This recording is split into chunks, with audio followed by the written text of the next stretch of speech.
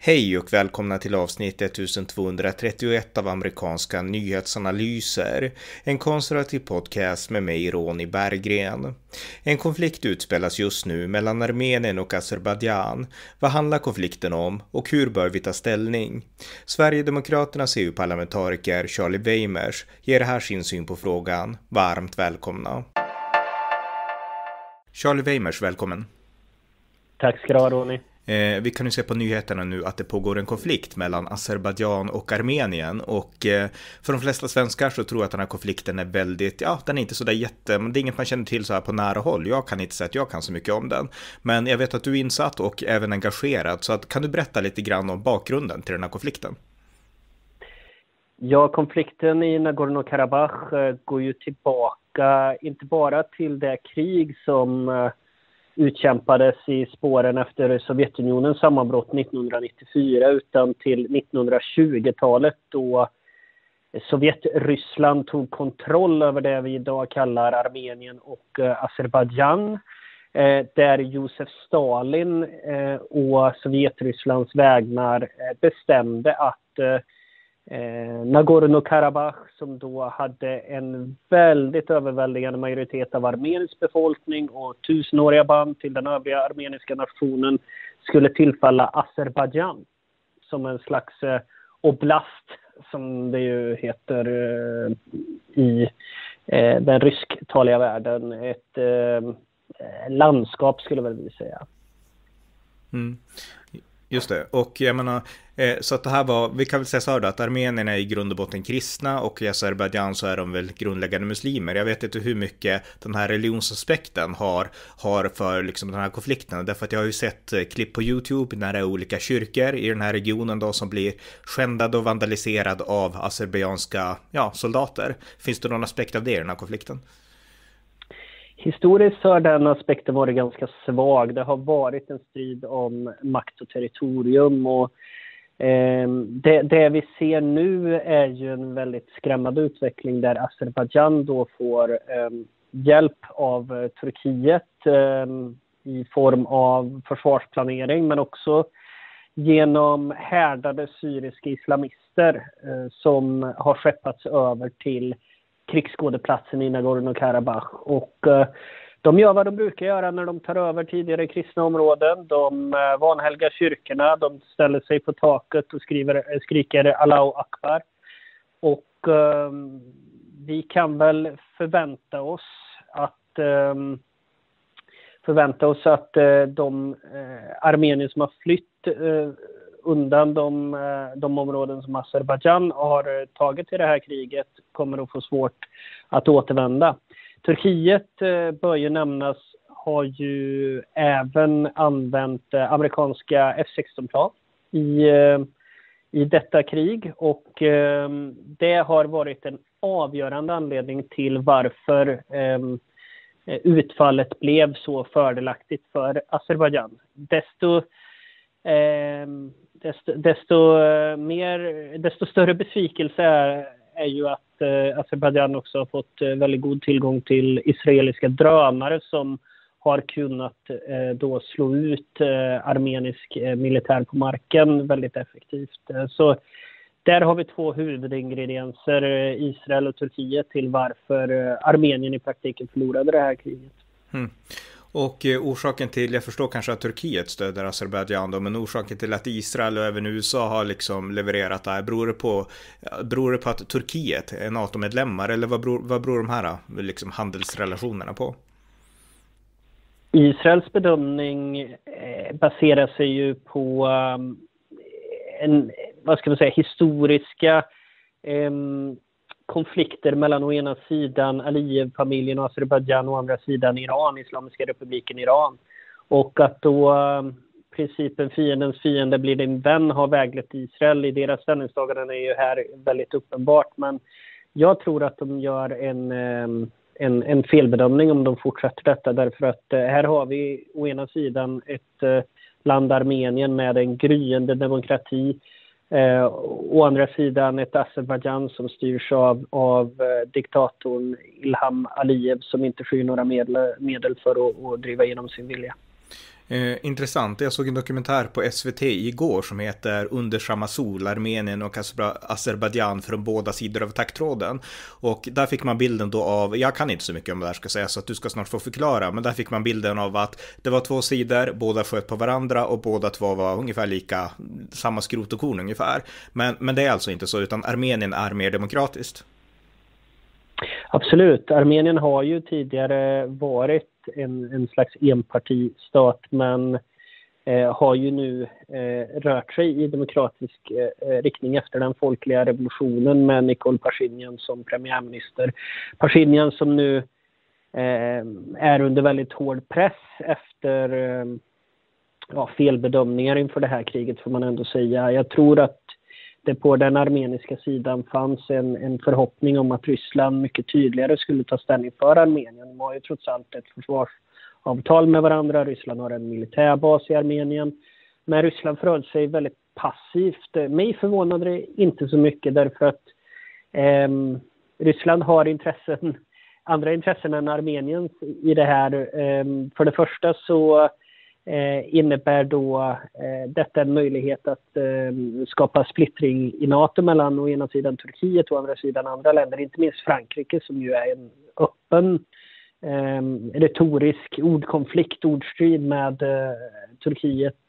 Eh, men, men också eh, USA och Turkiet där Eh, Eh, vi, vi, får inte glömma att det i USA finns en väldigt stor armenisk diaspora som, som eh, naturligtvis eh, känner oerhört starkt med, eh, med befolkningen i Nagorno-Karabach. Eh, så, så det är ett intresse för Ryssland. Ett annat intresse som de nu har verkställt är ju att kunna utvidga sin, eh, sin, sitt inflytande och det gör de genom att eh, det här fredsavtalet eller avtal, vapenstilleståndsavtalet eh, möjliggör eller det, det, innebär att ryska trupper eh, kommer att patrullera linjen mellan ehm, eh, as, aseriska och armeniska ehm, styrkor. Eh, och ehm, eh, det är ju naturligtvis ett steg framåt ur ryskt perspektiv. Men det var en felbedömning av, av Pashinyan och eh, jag jag tror, eh, jag hoppas eh, dock att eh, den utveckling som Armenien eh, nu har påbörjat, att den fortsätter i en positiv riktning. Jag tror det bästa sättet att, att eh, hämta sig från det här, det, det är att eh, långsamt och mödosamt bygga upp eh, en stat som är så fri från korruption som det bara går, som, som möjliggör för ekonomiskt välstånd och inte minst därmed möjligheten att ta hand om alla de internflyktingar som nu eh, kommer ifrån eh, Nagorno-Karabach. Eh, det sägs ju att eh, hälften av eh, befolkningen, omkring 90 000, eh, har tvingats fly sina hem och det är ju oerhörda siffror. Mm. Eh, det här är ju ett väldigt stort ämne. Jag tror vi får djupgräva på riktigt någon annan gång. Men jag har två frågor till. Och du har berättat nu lite grann om Rysslands roll och du har berättat om Israels, hur de överväger när de, när de säljer sina, sina vapen och sådär. Och eh, F16-plan och sådana saker. Men, men eh, alltså Turkiet, jag förstår inte exakt. Vad är Turkiets roll i det här? Varför vill Turkiet alls engagera sig i den här konflikten? Ja, Turkiet, eh, när de gick in i Syrien så talade de ju att, eh, om att eh, Mohammeds armé har återvänt. Det var alltså Erdogans ord.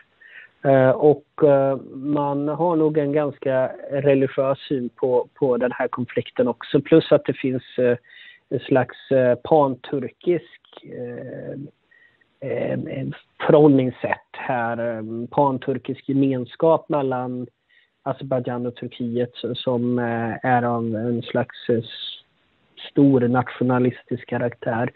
Det ska man heller inte underskatta. Så att eh, här stod stjärnorna rätt eh, i Erdogans värld för en, en eh, intervention, både islamism och eh, turkisk nationalism.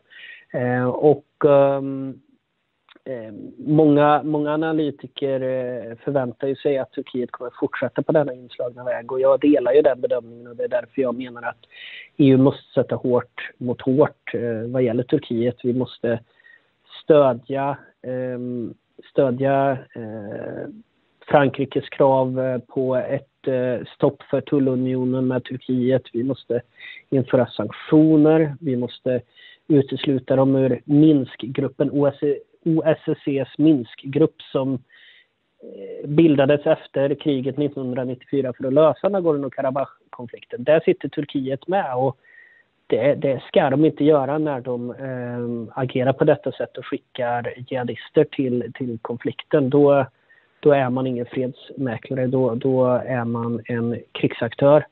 Um, och um, ja, Sverige, den svenska debatten har ju en del självrannsakning att göra vad gäller synen på Turkiet. Det var inte så länge sedan som, som i princip alla partier utom Sverigedemokraterna talade om ett turkiskt EU-medlemskap. Eh, Medan andra av oss, eh, jag talade redan för 15 år sedan om, om, om det problematiska i det perspektivet eh, och, och mitt parti likaså. Men, eh, men, men ja, det, det finns fortfarande kvar en stor naivitet vad gäller, vad gäller intentionerna där. Eh, vad tänker du om turkisk, alltså NATO-medlemskapet då? Det är ju någonting som NATO-länderna själva får sköta, men det är ju uppenbart att Turkiet inte är någon uh, god allierad eller allierad överhuvudtaget till, till i stort sett samtliga NATO-länder. Så, så um, det, det, det, bygger på en uh, kalla kriget-logik att Turkiet ska vara med i NATO och kalla kriget är över. Det är en ny världsordning som har vuxit fram och, och, i den så är Turkiet en motståndare och inte en medspelare utifrån ett västerländskt perspektiv. Mm. Eh, allra sist då, alltså, vad, vad, tycker du nu? Du, du har förklarat att vi måste vara tuffare mot Turkiet, men vad ska vi göra för Armenien? Vad kan EU göra och eh, hur tänker du att till exempel Sverige skulle kunna göra? Ja, EU har ju ett eh, avtal med Armenien och det tycker jag man ska, ska hålla fast vid och eh, utveckla. Jag tycker man ska titta särskilt på hur man kan utveckla handelsrelationerna så att man kan eh, bidra eh, till att den armeniska ekonomin kommer igång igen. Jag tycker att eh, EU ska sluta ignorera det islamistiska eh, våldet mot kristna därför att Eh, vi ser ju som sagt även i den här konflikten hur, hur man ger sig på kyrkor och inte bara att man river ner korsen och skriker Allahu Akbar utan man har ju även bombat historiska kyrkor eh, långt ifrån eh, några militära anläggningar i, i staden Shushi i Nagorno-Karabach.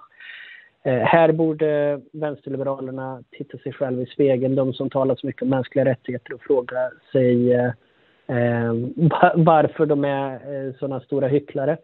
Eh, jag tror att ehm, EU eh, skulle kunna eh, erbjuda ehm, fredsbevarande trupper i området ehm, istället för att ryska och turkiska trupper finns på plats. Jag eh, tycker att EU måste överväga eh, relationen med Azerbajdzjan. Vi kan inte ha en normal relation med en krigförande diktator. Ehm, det finns mycket EU kan göra eh, och men en av de första sakerna man borde göra det är att lära sig historien om Nagorno-Karabach och, och, och, förstå att det här är ett uråldrigt armeniskt eh, område som, som på grund av Josef Stalin hamnade i Azerbajdzjans händer. Är det någonting vi ska acceptera och administrera? Mm. Eh, Sverige då, du missade men jag tänkte bara ett sist då, så vad, vad, är det största problemet i den svenska debatten? Om det ja, när, när, det gäller Sverige kan mm. sägas att det var länge på tal att skandinaviska trupper skulle utgöra just de fredsbevarande styrkorna i eh, Nagorno-Karabach. Och det, det förefaller väl inte troligt i, i närtid att så blir fallet, men, men eh, det skulle ju kunna vara någonting att återuppta om, om tiden blir mogen. För vi ska ju vara på det klara med att även om det här kriget nu har övergått till ett stillestånd så, så är ju inte konflikten över utan det här öppnar ju ett nytt kapitel i, i hela konflikten. Mm, just det. Ja, nej, men då vill jag säga tack till dig Charlie för att du tog dig tid att förklara lite grann den här väldigt svåra och komplicerade konflikten. Men vi fick en liten inblick i alla fall, så tusen tack. Tack ska du ha Ronny. Det var avsnitt 1231 av amerikanska nyhetsanalyser, en konservativ podcast som finns för att ge dig perspektiv på tillvaron som svensk media inte ger. Skänk gärna en slant på swishnummer 070-30 28 95 0 eller genom att via hemsidan stödja på Paypal, Patreon eller bankkonto. Det var allt för idag. Tack för att ni har lyssnat.